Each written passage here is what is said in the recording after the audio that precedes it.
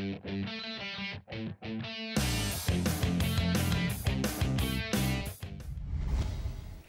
Magandang araw, oras na para sa pinakabagong balita sa lagay ng panahon at sa mundo ng science and technology. Ako po si Jel Miranda and we welcome you to DOS TV, Science for the People. Patuloy ang ating special coverage sa ASANAST Philippines International Symposium sa Taal Vista Hotel, Tagaytay. Abangan ang aming panayam sa mga speakers dito sa symposium. Kaya naman tutok lang dito sa DOS TV, Science for the People. Joining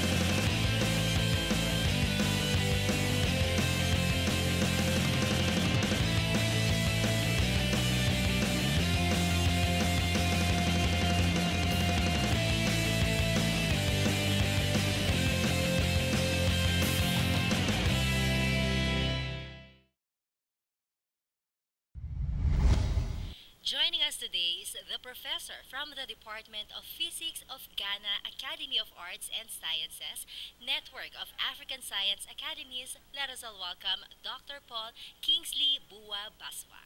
Good day, sir. Good morning. Good morning. So can you please tell us about your topic on today's discussion?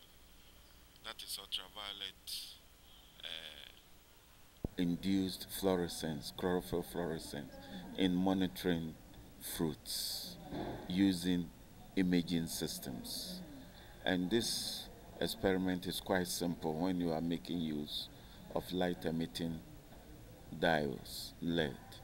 It can help you to know the fruit ripening, maturity, as well as to predict the shelf life of fruits. Because normally you go to supermarkets and you do not know when the fruit was put there and when the fruit is supposed to lose chlorophyll content. That is expiring date. So this system is quite simple, even though it has not got to the final stage, but it can be used to predict how the chlorophyll has decreased as time goes on in the supermarket. What is the indication that the chlorophyll is losing or have been dis- decreased? Actually, chlorophyll in fruits determine the freshness of the fruit. Mm-hmm. And as days go by, the chlorophyll that helps with the ph- photosynthetic activity mm. goes down, as if you are continuing manufacturing food. So if the chlorophyll content minimizes, it means the food quality is diminishing. And this is what we don't want. And this is where the device can help us to see how long this has been on the shelf. So what kind of fruits have you been tested using this process? I've used on lemon, I've used on mandarin. It can be used on papaya. And any fruit that has got greenish yellowish color, the LED device can effectively do so. So what will be the setup? Let's say you have the farm or you have this uh, uh, uh, space. What will be the setup?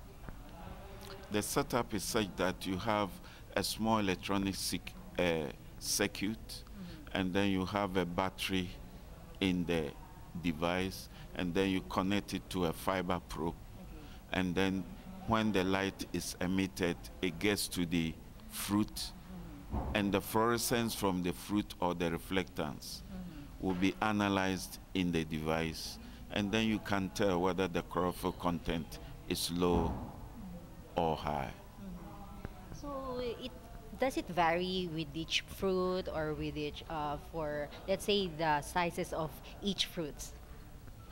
Chlorophyll content actually go with each fruit and whether you are shining the light at the head of the fruit or the tail of the fruit or the side of the fruit. Mm -hmm. Because chlorophyll content is not uniform on the fruit. However, if the chlorophyll content is decreasing with regards to time, then you realize that homogeneously the chlorophyll content will decrease when it's getting to the latter days of it. What would be the greatest potential of this uh, process? I think the greatest potential is for people to see the quality and not to accept everything on the shelf of the supermarket or even in the open market in Philippines as you find the fruits in the open market. It needs to be checked to see whether the chlorophyll content has gone down. So aside from fruits, can this be used also in vegetables or, or foods? Yes, it can be applied to leaves. Okay. And any vegetable that make use of leaves, it can also be applied to it. And in the same way, I think the expiring date can be predicted. Mm -hmm. And that is the essential thing for this device. So after you gather all the data, where will you give all those information? After getting all the details to the consumer, he wants to see the values that is being indicated that chlorophyll is decreasing for him to know whether the fruit is edible, is fresh, or is not. We are now at the final stage to look in that terms whereby the consumer can make use of it. But however, we have not reached the final stage of it. But with the preliminary stages, the device works eff effectively. Maybe, and right now we can use here in the Philippines. Yes, right now you can. The moment you are able to make the device, you can easily use it on the field in Philippines. And it's very simple to make the device. At this point, who have, ad who um, have adopted this method? Actually, uh, myself and my colleague were sent to Lund, Sweden, to look at the technology. Then when we came back, we saw that making use of laser diode is expensive. It will go to the tune of about $8,000. But by using LED, it comes down to about $1,000 mm -hmm. per device. What about the safety? When you say we used LED, is it safe? LED is very safe because it doesn't consume energy. Mm. And the new technology is such that even LEDs are being used in cars, mm. in uh, traffic lights, and other things. The energy saving concept is excellent. Mm. Does it give any effect on the fruits? No, no, no. Uh, by making it, you should make sure that you don't hit the fruit. That is why we have a current control, such that it has no effect on the fruit, but rather to give the fluorescence or the reflectance from the surface of the fruit. But how will be the, the testing for each fruit? Or does it make, um, I mean, it would be in bulk or each fruit? You can do an online inspection. That is, when the device is improved on industrial scale. In that case, as the fruit pass by on the, uh, in the industry, it can be inspected to see fruits that are defective or not defective. And it can be used in the canning industry for that matter. On the global scale, yes. Okay. But on a small scale, you can use your small device and try to test it on your own.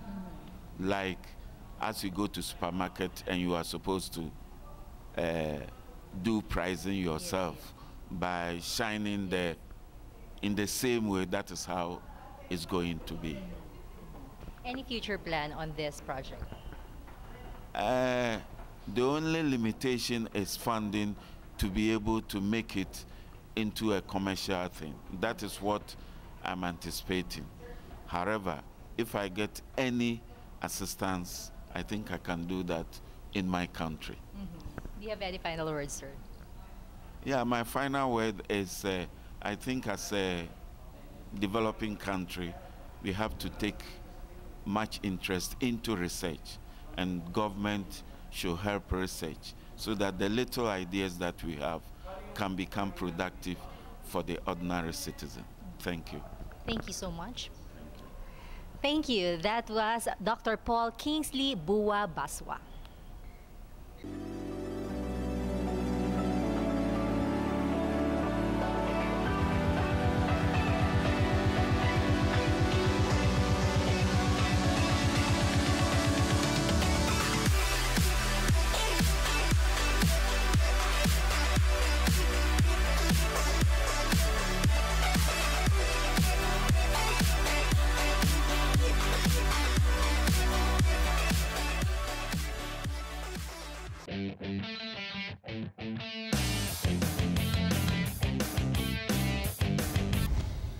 Narito pa rin po tayo sa Taal Vista Hotel Tagaytay para sa special coverage ng AASA NAST Philippine International Symposium.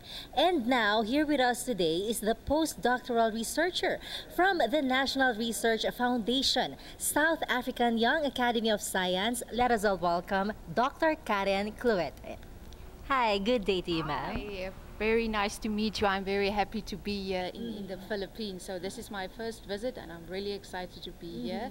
And this is a really lovely conference also about a very important topic in science. You know, we as, as scientists need to really break out of our silos and we need to use our science to make a positive change in, in, in this world. So, can you please share to us um, about your topic on today's discussion? Okay, so let me tell you a bit about myself. I'm a postdoctoral researcher at our National Research Foundation at one of the research institutions, mm-hmm. right? So I'm working on human hair. And what I'm doing, I'm doing multidisciplinary research. So now in science, it's good to link different fields together. So I, what I do is I mix biophysics, techniques in biophysics, and I mm-hmm. combine it with biomedicine. So what? Why do we do that? So we want to look at the chemical content in hair, right? And we try. We want to try and link these chemical compounds to certain diseases. So what we do is we sample hair, right? Now, um, just to give you a bit of context ab- ab- about the work, your your your body is full of chemicals, full of elements, and it's very important to keep that delicate balance of, of the elements in, in, in your body because the elements and the chemicals in your body is involved in various biological processes, right? So when you are exposed to, for example, heavy metals that can occur in water like lead or arsenic or these kinds of things, you introduce that into the, the body and that influences your physiological processes. And that can then lead to diseases. Like, for example, research has now shown that Alzheimer's, patients with Alzheimer's has high levels of aluminium in their brains. So there's various diseases that, that can be linked to what we call elemental dyshomeostasis.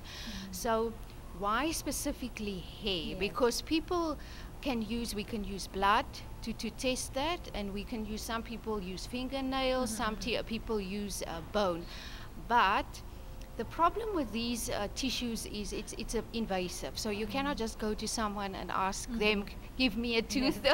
And we're all scared of getting our blood drawn. So hair is a really nice medium because also the, the levels of the chemicals in your blood varies based on, on, on the physiological processes. So it might not always be stable.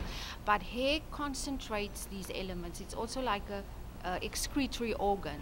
So mm-hmm. everything that is toxic in the body gets deposited in the mm-hmm. hair, right? Mm-hmm. And also because these physiological processes in your body is influenced when your elements are there's not that good balance in the elements is not there or if you have toxic elements this influences the physiology and obviously it will also influence the physiology of your hair so the elemental levels will also differ in that. So um, we are looking at, at, at these kind of uh, chemicals now. As I said, also with hair because it's very long. Okay, not all people have long hair, but it, it, it has yeah, but but it has some some uh, some some length. So you can retrospectively assess uh, uh, chemical exposure with as blood and also urine.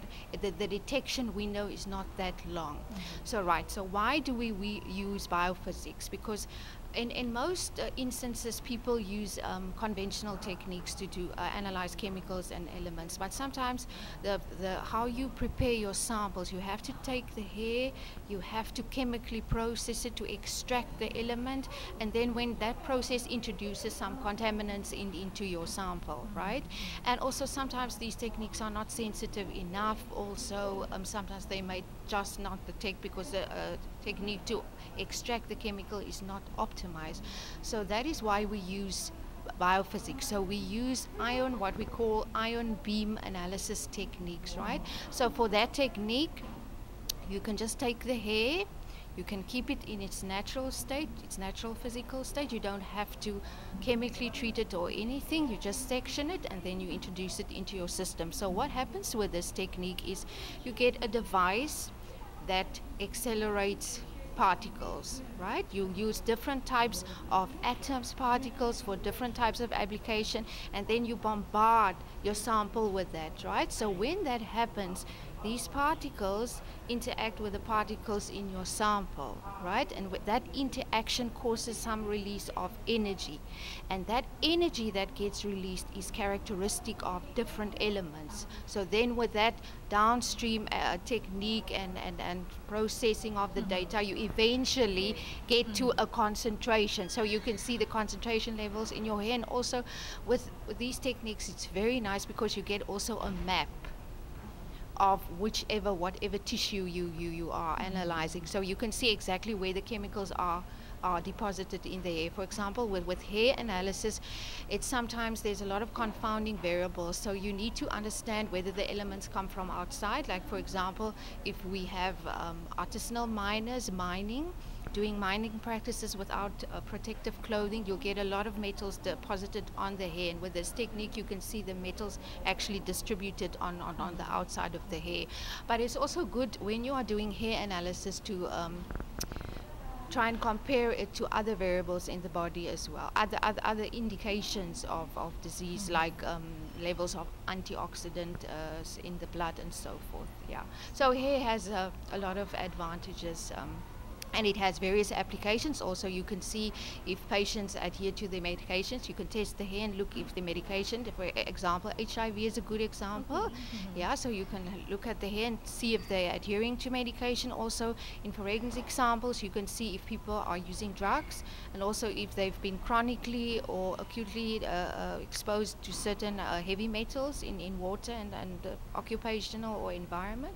So yeah there, there's a lot of uh, applications for hair what, what if I don't have the hair? so how will you do the testing and analysis? Yes, so um, you can basically analyze um, hair from anywhere okay. in, in the body. Mm -hmm. So you can use different areas of hair. Uh, some people prefer to analyze pubic hair because it's less exposed to external contaminants and also chemicals. yeah and chemicals because also if you dye your hair people use a lot of yes. cosmetic treatments. Mm. for example anti-dandruff shampoo will mm. add zinc to the hair. Mm. So that can then influence uh, your analysis. So there's a lot of things you need to think about when you are doing hair analysis. So there is a distinctive uh, property of the hair that you, yeah. you that that's why you use it? Yes yes. So so like i said the the, the element or the chemical levels in in hair will be higher than in your blood, and mm-hmm. also you can retrospectively assess exposure to, for example, heavy metals. So, so there are some some mm-hmm. advantages to hair and analysis. Mm-hmm. Yeah. So how long will it take uh, doing your analysis and doing your testing before we get all the informations and data?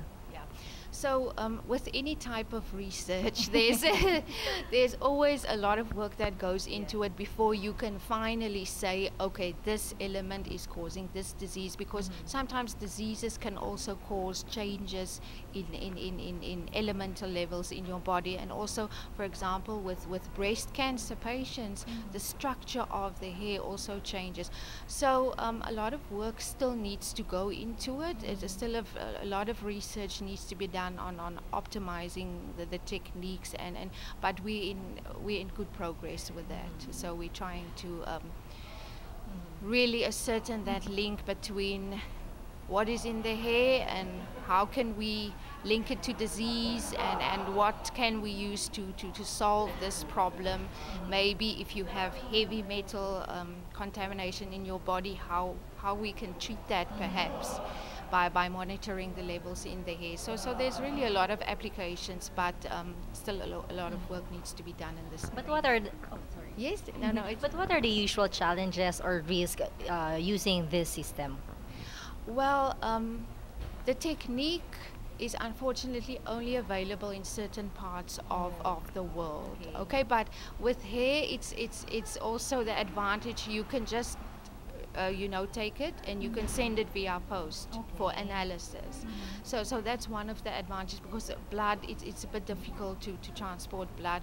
So, yeah, so um, yeah, so so th- this technique is available, and and what is also good, it will provide almost like uh, scientists can deliver also like a service uh, to to the population in in determining levels of these elements in in hair using the specific techniques, because also um, this technique is very highly sensitive, so you can get parts per million levels of uh, element uh, detection level in, in your hair. So it's extremely sensitive. So it's a very it's a very good technique uh, to be used. Yeah. So, so who have already adopted this kind of technique or system? No, it's unfortunately not yet used. It's not yet used. We're still testing and trying to, because for example, um, we found with a specific technique that um, cholesterol might be in hair. Okay. right? It might still be mm-hmm. there and but how it will be put into mm-hmm. actual you know application is, is still there. There still needs to be done some some work on on, on that. Yeah mm-hmm. so we're still in in progress with that. So right now you're here in the Philippines. Maybe we can adopt or use this. Yeah, yeah. This is because I've, I've had very interesting discussions on um, with with another researcher here who wants to collaborate on some pro- project because I've heard you have some problems with arsenic in your drinking water. So if we can test that and see how it's affecting, um, you know, the, the chemical composition of, of, of the body and maybe develop some intervention by giving patients some kind of treatment to lower the arsenic level that that can also assist and then you can do consecutive tests and see how maybe the levels diminish. And also what does these high levels of ar- arsenic what what kind what what, what are- how does it affect patients? For example does it in, uh, affect their, their their cognitive performance? Does it affect their infertility? So so so there's a lot of uh, things that, that that we can do. So so this is um so yeah so i'm i'm quite excited about the project that have been discussed. And also infections and people with infectious diseases the chemical composition elemental levels will also be changed. So if you can also test that with the hair and then see if you can find some intervention mm-hmm. give patients some type of medication or something that can lower it necessary and then monitor it over a period of time it will also be mm-hmm. quite useful. All right, that was great. And any, do you have any final words to our televiewers? Oh, I, I would just like to say um, I'm really enjoying the Philippines and, and this wonderful conference, and you are just a very, very lovely country with very, very nice people, warm and friendly. I, I love the hospitality. Yes, thank you very much. Thank you so much, and we'll hope to see you soon when you come back. yeah, come and visit. yeah, I look forward definitely to coming back. Unfortunately, um, I have to leave the country on, on, on Saturday because I have other commitments, but I really look forward to coming back soon. eh? Thank you so much, ma'am, Thank and good luck on your future eh? projects. Thank you. I look forward to working with the researchers of your country. Thank you so much. That was Dr. Karen J. Cloete.